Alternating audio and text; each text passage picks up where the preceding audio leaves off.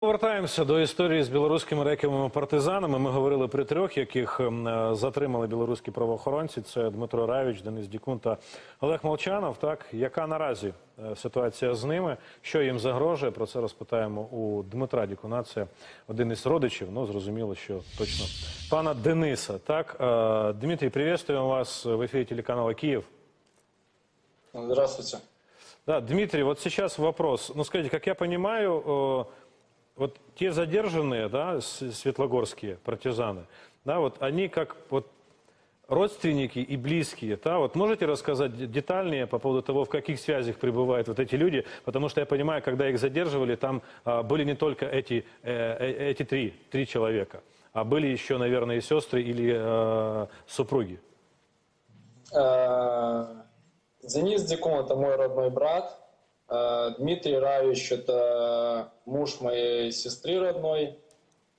Олег Молчанов – это брат-тесть, э, жены отец. Также задерживалась э, брата жена и моя родная сестра. Дмитрий, ну как я понимаю, их отпустили. И почему я это задал этот вопрос? Потому что интересует, а вот как сейчас обстоят дела, и я так предполагаю, с определенным прессингом а, правоохранителей белорусских, вот всех родственников, которых так или иначе, наверное, проверяли?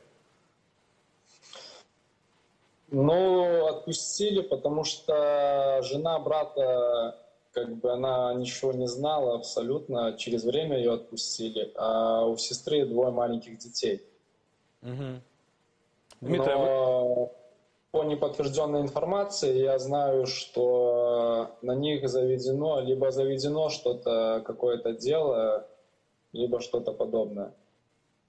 Дмитрий, а вы поддерживаете связь с братом Денисом? Там каким образом, что вам удается узнать о состоянии и о том, куда движется вот эта их история? Э, С братом связи я на данный момент не поддерживаю, потому что по некоторым данным по этому же делу прохожу я. И так как я нахожусь за рубежом, э, не факт, что мои письма будут им передавать даже. Не исключено, что мои письма могут просто-напросто приложить сразу же к уголовному делу. Дмитрий, а скажите, вот какая главная мотивация вот людей, которые сейчас вот таким образом протестуют против того, что делает Россия в Украине, и, как я понимаю, против самого режима Лукашенко?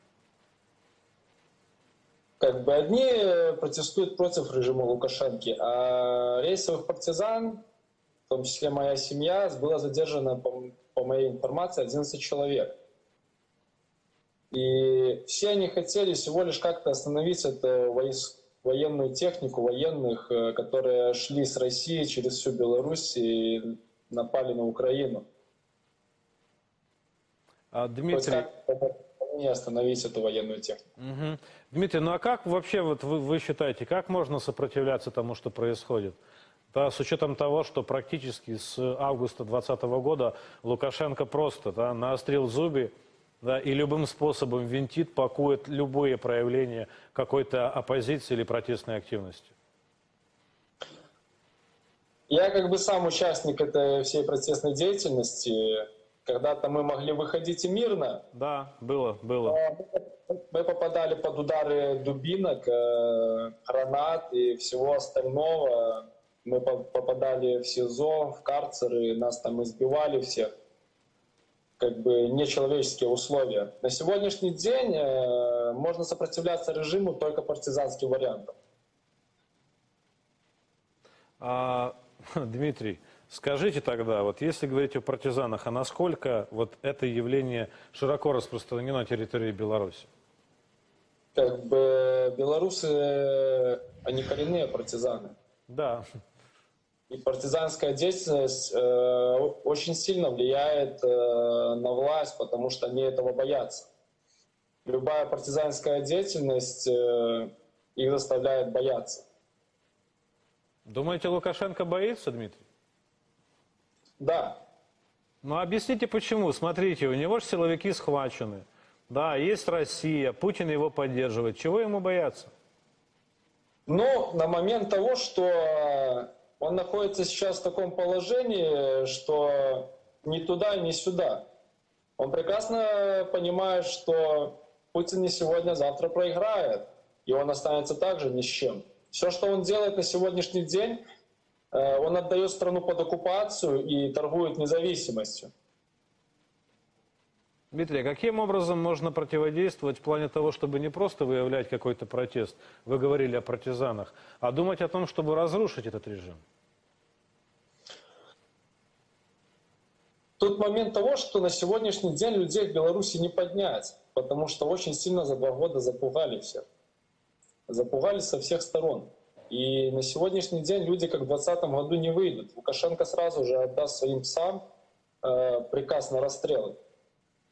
Тогда стреляли, сейчас будут стрелять еще жестче. Угу. Здесь только можно организовывать подполье и действовать.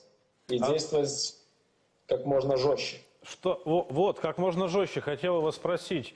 А, Вы, когда принимали участие в протестах, да, начавшихся в августе 2020 года, а, вы понимали, что вот мирно ничего не изменится? Да, я прекрасно это понимал. И Я не то чтобы понимал, я изначально, да, я участвовал во всех митингах, да, Мгм. или там э, псы, вон, э, там, э, кошмарили людей. Но момент того, что мы нашли э, ту лазейку, как можно запугать их самих. И что это за И лазейка, это- да? Что это за щель, в которую можно пробить вот этот кол? Э, Я повторюсь еще раз, э, партизанскими действиями можно делать очень много. Так вот, Мы знаем, где они находятся, мы знаем, где они живут, мы знаем, где находятся их семьи. Получается, личная угроза каждому из функционеров этого режима, она должна создать какой-то такой да, э- эффект синергии, да, который приведет к вот, разрушению постепенному. Так вот надо это рассматривать? Ну, да. У нас был такой случай, э, один из белорусов, э, Андрей Зельцер, когда к нему врывались квартиру, он не забоясь ничего, он взял оружие в руки, и он их встречал. Тогда был убит КГБшник. С того момента даже участковые боялись заходить к людям в квартиры без бронежилета. Но эта волна спала, и они начали опять безнаказанно творить жесть, э, избивать и уничтожать белорусский народ. И думаю, что это все сойдет с ним, э, им с рук. Дмитрий, а как в целом белорусы смотрят на эту войну? Белорусы относятся к войне очень плохо, потому что все, когда все это началось, все начали очень сильно переживать. Э, Некоторые, как и на сего- на сегодняшний день, помогают. Помогают Украине кто как может. Как бы только те, кто верит, верит э, Лукашенку, ну там, там мозг, э, мо- мозга у человека нет, они считают, что это нормально. А настоящие белорусы только на стороне Украины и никак по-другому. Дмитрий, а Потому стра- что Да-да, в прошу. 2020 году российские росгвардейцы стояли на площадях у нас в Беларуси, и они убивали белорусов.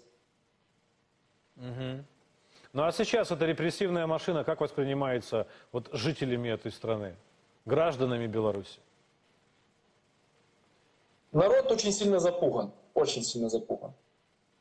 Каждый, кто не согласен с властью, он ходит по улице и не знает, может он дойдет до дома или до работы, может его сейчас арестуют за что-нибудь там, за лайк, за комментарий. У нас людей просто садят ни за что. Все, кто хоть подумал, даже подумал против Лукашенки, они сидят в тюрьме. Либо белорусы выезжают из страны, либо сидят в тюрьме. Да, Те, два- кому все равно на страну и на все, что происходит, это их мнение, это их дело. А, Дмитрий, а возможно вы знаете там, по знакомым, по тем, кто остался там, а, а какие настроения среди э, военнослужащих? Я имею в виду не русских, да, не расистов. Я имею в виду именно во- военнослужащих самой Беларуси. Э, Я знаю немало, у меня есть знакомых, которые служат. Э, Информации очень много от них, э, то, что... А что говорят? это- Что говорят, Дмитрий? Вот, вот, вот, Если что... где- Если где-то какой-то приказ, пойти, перейти границу на территорию Украины. Всех, кого я знаю, своих знакомых, они готовы сложить оружие, перейти на сторону Украины сразу же. Потому что эта война бессмысленная. Если начнется что-то в Беларуси, они готовы поддержать Беларусь. Угу. То есть, получается, они ждут, знаете, а, что выступит таким триггером да, для процессов, чтобы запустить. Да, люди как бы ждут, э, многие готовы, многие готовы уже только э, открывать тот же самый, как в Украине происходил Майдан, открывать Майдан в каждом городе Беларуси, и люди к этому полностью готовы. Потому что другого варианта у нас больше нет. А уже готовы к Майдану? Потому что ранее я помню, что мы выходили на связь с представителями оппозиции, да, и вот штаба там, с Тихановской, и люди, которые принимали участие, и у них были определенные такие понимания, как в Российской Федерации. Они боялись Майданов и постоянно говорили, что вот мы за мирный протест, вот надо мирным протестом, потому что вот ну не надо идти на агрессию. Да, вот надо вот таким образом делать, но мы в Украине не понимали, потому что если вы хотите что-то поменять, у вас не получится. Ну вот, вот мы же знаем. Вот сейчас люди по-другому воспринимают эту историю.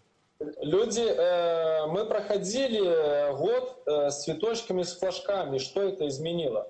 У нас больше 6 тысяч политзаключенных, искалеченные судьбы, убиты люди. Много инвалидов. И что это дало? Что дало цветочки, флажочки? Как бы повторить еще раз, повторить еще раз погибнуть. Смысл? Здесь, кроме силового варианта, э, уже ничего не будет. Лукашенко ворвался в эту власть так, он, он понимает, что ему от власти не отойти. Так как если он отойдет хоть чуть-чуть в сторону, все, ему Гаага, это минимум. Его не спасет даже Россия, его не спасет Путин, потому что Путин пойдет вслед за ним. Да, было бы хорошо посмотреть на такой себе эффект домино. А, Дмитрий, вы сказали о том, что вы сейчас находитесь за рубежом, там, не буду спрашивать, там, где и так далее, не суть важно. Сейчас за рубежом есть очень много представителей белорусской оппозиции. Ну и лидером считается Светлана Тихановская, да, которая, по сути, претендует и на место, на кресло. Да, если там провести правильный подсчет голосов, то вполне возможно, она бы была и в лидерах, по большому счету. Но дело не в этом. А вот для вас кто вот лидер? Светлана или кто-то другой? И есть ли там люди, которые способны как-то знаете, э, скоординировать определенные действия для того, чтобы был протест, была организация, была координация, которая приведет к реальным изменениям? Скажу вам честно, до какого-то времени я еще там, в демократические силы верил, в офис Тихановской верил, во всех верил. Но настал тот момент, когда я вижу, что ничего не происходит если люди сами ничего не делают, э, какие-то активисты, еще кто-то, сами что-то делают, то что-то получается, есть какой-то шанс. Мы призывали очень много раз к объединению. Так, объединение не получилось. Они на сегодняшний день еще не у власти, еще ничего, они, они устраивают публично ругань друг с другом, там э, непонятно за что, а людей не слышат. Это как так? Ну, смотрите, ну, Дмитрий, возможно, это такой, ну, не то чтобы правильный, а закономерный процесс. Для того, чтобы определиться с выбором и с лидерством, им нужно выяснить отношения и понять, а как же действовать вместе. Или вы видите просто рознь и, знаете, такие способы на себя одеяло перетянуть? Я вижу перетягивание коня, каната со стороны в сторону, и все на этом.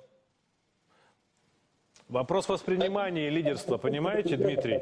Вот, вот для Запада, который сейчас и приютил многих, многих и украинцев, и белорусов, да, вот для Запада Тихановская, скорее всего, лидер, и с ней же координирует, ей предоставляют разные площадки, медиа и так далее, дает интервью, коммуницирует, координирует и так далее. А скажите, пожалуйста, ну, вот она там ездит туда-сюда, там медиа, не медиа, о чем-то где-то договариваются. Только от, эти, от этих всех слов там ездят все. Ездят все, кто там э, где-то какие-то диаспоры, там э, что-то какие-то, кто где что создал, они везде что-то где-то делают. Как бы молодцы, каждый кто-то что-то делает, это отлично, я поддерживаю это, это прекрасно. Только у нас политзаключенных меньше не стало. У нас судьбу людей ломать не перестали в Беларуси. У нас каждую неделю людей сают еще за 20-е годы. Очень большим количеством. Только от этих слов политзаключенных меньше не становится, и судеб меньше не ломается. И сколько мы будем еще так? Два года прошло. И что дальше? Будем по два года ходить с флажочком.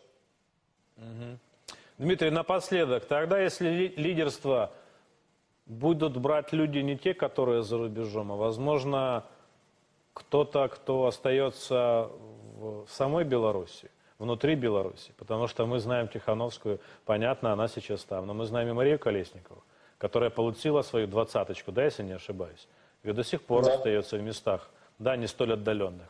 Возможно, там будут искать люди, лидеров. Как вы считаете? Там ли- ли- лидеров очень много и достойных лидеров. То же самое Виктор Бабарика, Статкевич. Тогда Как получается там- взор, взор в середину, да, а не вне. Ну, как бы многие люди рассматривают своего лидера как-то по одному. Но нам для того, чтобы выбирать лидера, нам для начала нужно свергнуть э, диктаторский режим Лукашенко. Да, тут, тут возникает вопрос, можем, сможет, смо- сможет ли белорусский народ это сделать без, без самих лидеров, или, или волна протеста выплеснет наверх каких-то новых людей, новые имена, которые будут способны повести за собой и стать вот этим, знаете, а, определителем будущего, нового будущего для Беларуси. Дмитрий, спасибо вам, що вийшли на связь, спасибо за розговор. А, Дмитро Декун, родич білоруських рейкових партизанів, ну один із них, да, бо ми розуміємо, що там фактично, коли у Світлогірську затримували цих білоруських партизанів, то там фактично пакували сім'ями.